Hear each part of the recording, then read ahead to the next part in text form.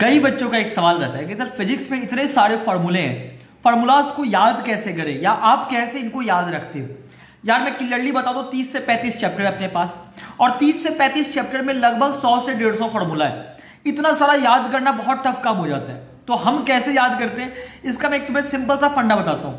Chapters को category में divide कर लो। जैसे कि एक कैटेगरी आ गया मैकेनिक्स का एक कैटेगरी आ गया इलेक्ट्रोडाइनमिक्स का एक कैटेगरी आ गया हीट एंड थर्मोडाइनमिक्स का, एक आ गया पूरा वेब का मॉड्यूल, ऑप्टिक्स का मॉड्यूल, मॉडर्न फिजिक्स का मॉड्यूल, और फिर कुछ चीट पीटिए टॉपिक जैसे कि मेन स्पेसिफिक टॉपिक हो गया। अब हमने इन कैटेगरी में डिवाइड कर लिया। अब जैसे मैं तुम्हें बताऊँ कि पूरी मैकेनिक्स में फॉर्मूलेज है ही नहीं। मतलब यू मान के चलो angular momentum conservation linear momentum conservation force moment of inertia और सेंटर ऑफ़ मास मेनली यही सब है। इसी का मेनली एप्लीकेशन है। तो मैकेनिक्स में ज़्यादा फॉर्मूला नहीं होता। सबसे इंपॉर्टेंट बात यह जिसको आप इजिली कवर कर सकते हो। सबसे ज़्यादा फॉर्मूला जिसे पाया जाता है, वो होता है ऑप्टिक्स और इलेक्ट्रोडाइनमिक्स तो आपको करना क्या है? इलेक्ट्रोडाइनमिक्स में जो इलेक्ट्रोस्टैटिक का पार्ट होता है मैग्नेटिज्म का पार्ट होता है और जो अपना ग्रेविटेशन का पार्ट होता है। इसमें कई सारे फॉर्मूला जो होते हैं, वो एक दूसरे के सिमिलर होते हैं। जैसे आप इलेक्ट्रोस्टैटिक का सारा फॉर्मूला याद कर लेते हो तो ग्रेविटेशन ऑटोमेटिकली याद हो जाएगा। मैग्नेटिज्म में भी कई जगह आपको हेल्प मिल जाएगा।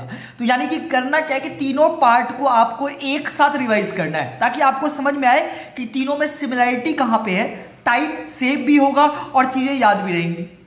अगला क्या? कि सर जैसे कि न्यूक्लियर फिजिक्स है।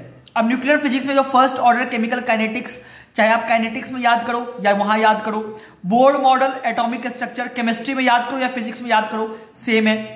दूसरा ये होता है कि एक टॉपिक आपका ये हीट एंड थर्मोडाइनमिक्स अब थर्मोडाइनमिक्स में गैसियस स्टेट का आरएमएस वेलोसिटी की बात करें या थर्मोडाइनमिक्स में प्रोसेसेस की बात करें। फॉर्मूला बिल्कुल सेम होता है, बस साइन कन्वेंशन का डिफरेंस होता है। तो यार फॉर्मूला याद करने के लिए आपको एक तो टेक्निक अपनानी पड़ेगी जिससे आप चीज़ों को बिल्कुल माइंड में फिट कर सको। जैसे मैंने ऑलरेडी तुम्हें बता दिया, जो केमिस्ट्री और फिजिक्स में कॉमन टॉपिक्स होते हैं ना, उनके फॉर्मूलाज को तो किसी एक में याद करो, दोनों में फ़ायदा देगा। और जो कॉमन टॉपिक्स नहीं होते, उनका तोड़ खोजो कि ये चैप्टर का फॉर्मूला इलेक्ट्रोस्टैटिक का फॉर्मूला डिट्टो ग्रेविटेशन में यूज़ होता है। या फिर इलेक्ट्रोस्टैटिक का कई सारा डाइपोल वाइपोल का फॉर्मूला जो होता है, वो मैग्नेटिज्म में यूज़ होता है। तो यार अपने को ये सिमिलैरिटी खोजनी है। ऐसा नहीं कि उसका भी याद कर रहे हैं, इसका भी याद कर रहे हैं। तो इससे आप चीज़ों को बहुत ईजी कर सकते हो। ऑप्टिक्स के फॉर्मूला को याद करने के लिए आप ऑप्टिक्स का माइंड मैप बना लो।